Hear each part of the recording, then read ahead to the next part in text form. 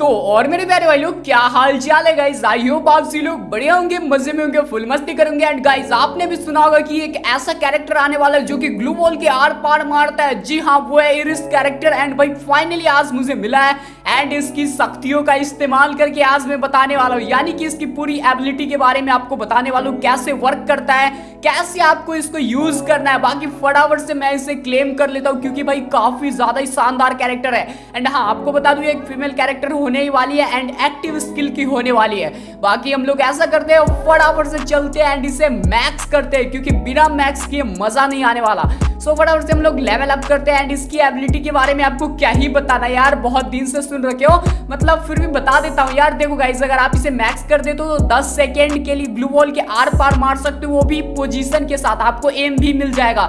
And उसके बाद जो आपकी एनिमी है, वो सात मीटर के अंदर होनी चाहिए, यानी आपके अंदर सात मीटर के रेडियस के अंदर होनी चाहिए। बाकी अपनी गोल्ड एंड डायमंड्स फ्रेगमेंट सब खत्म हो चुकी है तो मैं इसे लेवल फाइव तक ही कर पाया।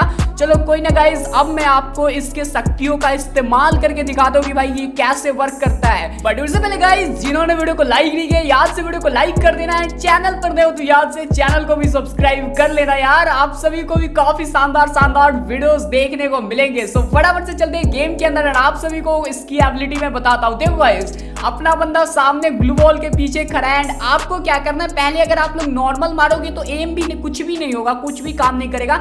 लेकिन जैसे ही आप लोग एबिलिटी यूज़ करोगे तो आपको एक एम मिलेगा एंड उस पर इजिली हेडशॉट मार सकते हो।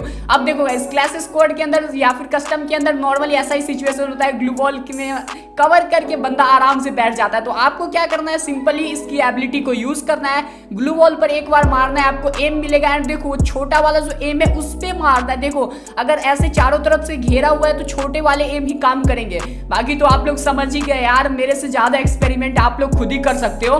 तो आप लोग बताना कि ये वाला कैरेक्टर कैसा लगा। एंड वीडियो अच्छी लगी तो वीडियो को लाइक कर देना, दोस्तों के साथ शेयर कर देना। तो चलो हम लोग मिलते हैं नेक्स्ट वीडियो के साथ। तब तक के लिए बाय बाय टेक केयर